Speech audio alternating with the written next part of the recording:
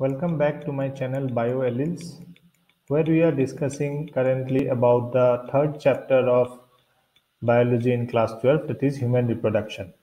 In the previous two videos we have already discussed the anatomy of the male and female reproductive structure. After that we are coming to the main topic that is the gametogenesis the first process that takes place in the sexual reproduction. Gametogenesis simply is nothing but the formation of gametes. In case of males, it is called as the spermatogenesis. In case of females, we call it as oogenesis, that is sperm formation and ovum formation in males and in females respectively. Now, gametogenesis is basically simply nothing but a process of formation of haploid gametes from the gamete mother cells. Now, these gamete mother cells are the diploid meiocytes. This process takes place in specifically the gonads, that is in testes in males and ovaries in females. Now, any gametogenesis has basically three steps. These three steps are the multiplication phase, the growth phase, and the maturation phase. Now, multiplication phase is the phase where the gamete mother cells multiply many times to increase their number so that there can be more and more gamete formation. However, growth phase is the phase during which you will see there is the growth in the cytoplasmic content either for fulfilling its nutrient requirement most commonly or for the future development of the zygote. Then maturation phase is the main phase during which the process of meiosis will take place. So ultimately the diploid cell will give you the haploid cell by the process of this maturation phase during which the meiosis will take place. Now to start with the spermatogenesis, it is basically nothing but the process of sperm formation during which there is sperm formation taking place in the specialized structure called as the seminiferous tubules. If you recall, in the male reproductive structure, we have discussed that inside the testicular lobules, there are coil structures which are called as seminiferous tubules. So, the lining of the seminiferous tubules contain various uh, cells, but these cells are formed from what we call as germinal epithelium these germinal epithelium, they will differentiate to give two type of cell. One is the spermatogonia or the sperm mother cell and the other is the nutritive cell called as the Sertoli cells. The germ cells they divide and then they develop into what are called as the sperms. Now spermatogenesis overall if we see it has two steps that is one is called as the spermatidogenesis during which the formation of a structure called as spermatid take place and the other process is called as the spermiogenesis. Spermiogenesis is the process during which a spermatid undergoes a process of differentiation to give you what are called as a spermatozoa or the sperm. Now let us understand these two processes in details. First process we will look at is the spermatidogenesis. Now first phase is the multiplication phase which starts from the birth itself that is certain primordial germ cell that is these germ cells are those precursor cells which in future will give you the spermatogonia. These primordial germ cells they enter the testis and then they produce which are called as the spermatogonial cells or the spermatogonia. Now these spermatogonia they start dividing more and more and also they will grow. But while they divide they give you two type of cell. One is type a spermatogonia other is type b spermatogonia. These two type of spermatogonia has different function. Type a spermatogonia have a function of giving rise to more and more number of spermatogonia only. That is it acts like a stem cell so that the pool of spermatogonia is maintained. Because males they keep on producing very large number of sperms in huge quantity for a very long period of time. Because we know that in males although puberty starts at the age of around 11 to 12 years but the reproductive phase may continue for a really long period of time. Depending upon the overall health of the individual it is true that beyond a particular age maybe 50 55 or 60 years the number or quantity of the cells that is the sperm cells and their quality may decrease but the, still the production do continue with a very low rate. Therefore, they produce in their lifetime a huge number of sperms, in fact, millions and millions of sperms. Therefore, there should be enough amount of mother cells, that is spermatogonia, available in the testis. Therefore, the stem cells undergo continuous mitosis to keep regenerating the spermatogonia. However, the type B type of spermatogonia, they undergo the next phase known as the growth phase. During this growth phase, what happens is the size of the cells almost double because the amount of cytoplasm and its cytoplasmic content is going to increase manifold. Also, it is going to accumulate nutrients as well as certain meiotic factors. These meiotic factors are nothing but such factors which help in the process of meiosis, which helps the cell to pass through different stages of meiosis. Then from the puberty onwards, they will start undergoing the process of maturation. When this type B type of spermatogonia undergoes the process of growth, it gives rise to what are called as primary spermatocyte. This primary spermatocyte is very important to understand is haploid in its ploidy level. We spoke about spermatogonial cells which are haploid obviously. Since primary spermatocyte are only formed by the process of growth, no kind of meiotic division took place, so they are still uh, quite diploid.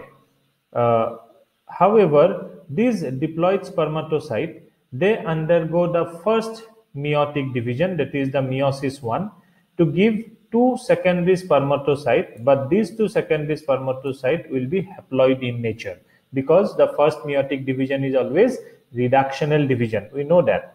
Now, this secondary spermatocyte will undergo the second meiotic division, which are which give rise to what are called as spermatids.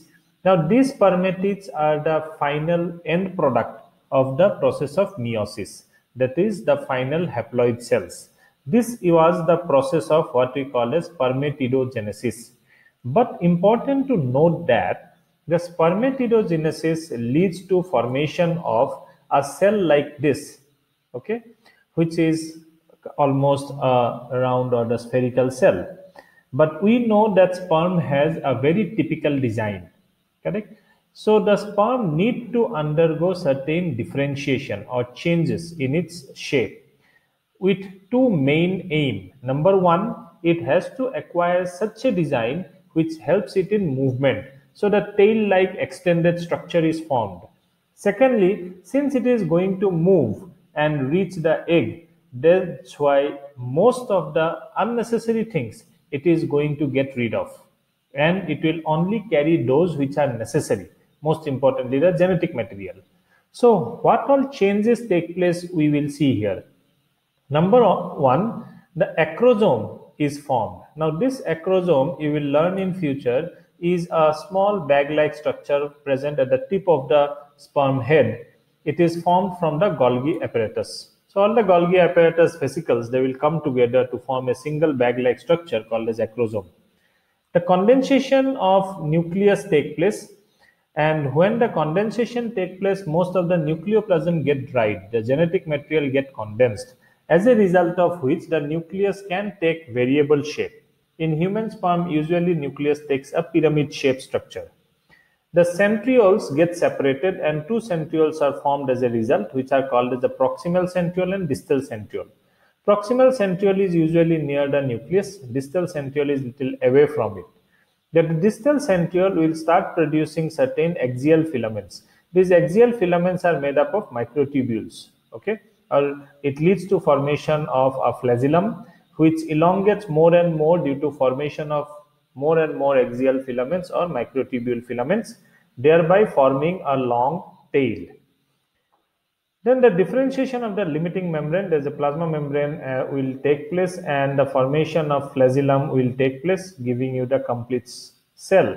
Most of the amount of cytoplasm will get reduced, okay? They will get dried up because there is not much amount of cytoplasm necessary for the particular cell. So ultimately we get the structure of what we call as a mature sperm. This structure is important from exam point of view also. If we look at it one by one, the different parts, Mainly, it has three part head, middle piece and tail. Head is around 4.5 micrometer in length and it has two main part. One is acrosome, which we studied is a narrow cap-like sac which is present at the tip and it is derived from Golgi complex which takes up around two-third area of the head and it contains some important hydrolytic enzymes known as sperm lysins. You will learn about its function later on. Three basic type of enzymes present here. One is hyaluronidase, then corona penetrating enzyme and acrosin or we call it as zonalysin.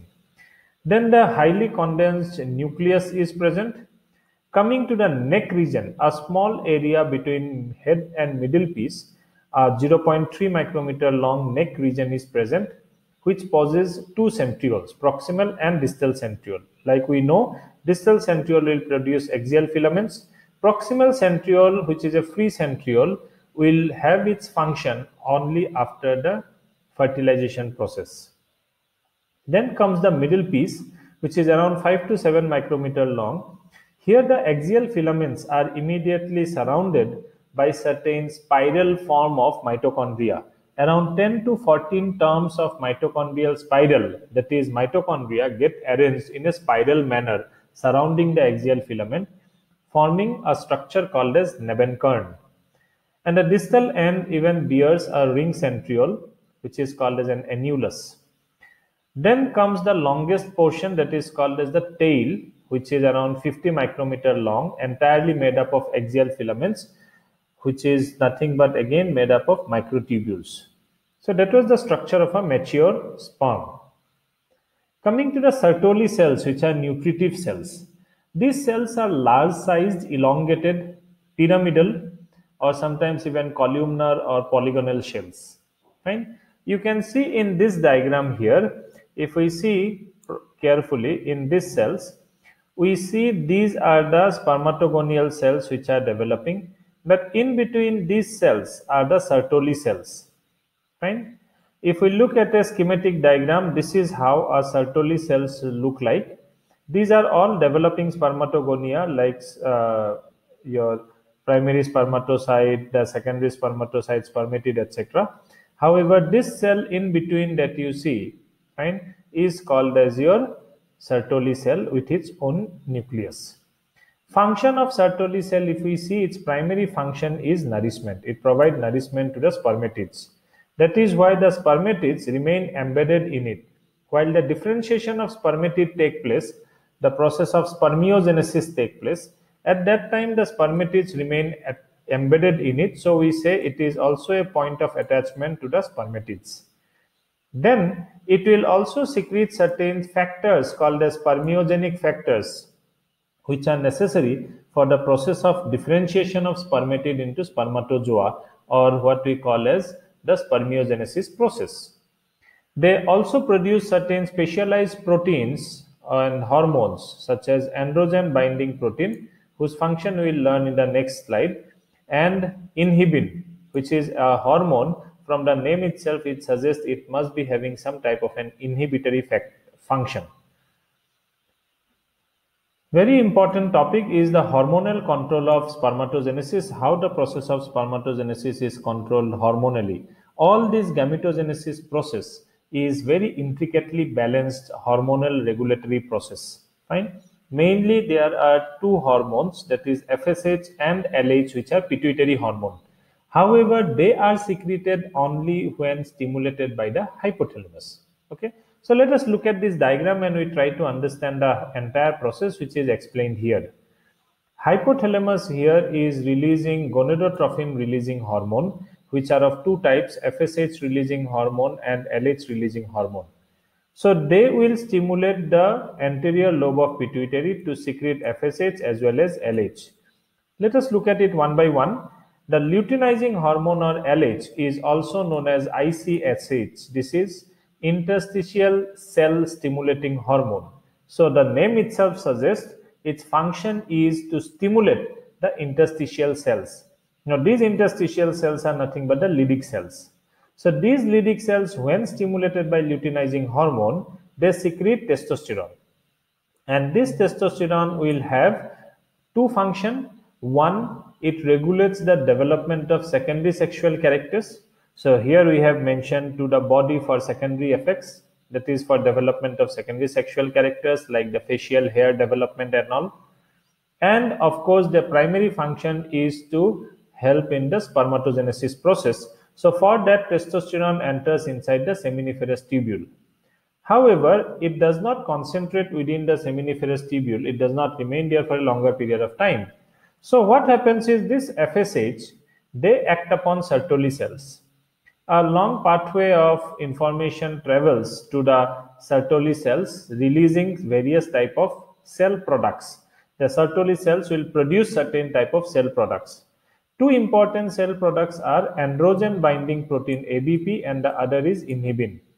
From the name we can understand androgen binding protein means something that binds to the androgen and what, which androgen are we talking about here? That is the testosterone. Therefore, the androgen binding protein binds to the testosterone and it increases the concentration of testosterone within the seminiferous tubule so that they together can act upon the spermatogenesis process. Inhibin, on the other hand, what it does is when there is excess testosterone production, then this inhibin will have a negative feedback on the pituitary gland and thus reduce the production of FSH. Another feedback mechanism is increased concentration of testosterone also inhibits the gonadotropin releasing hormone by hypothalamus and LH releasing LH hormone by the pituitary gland. So there are two negative feedback for this hormonal control of spermatogenesis. So that was about the entire process of spermatogenesis which is divided into spermatidogenesis and spermiogenesis.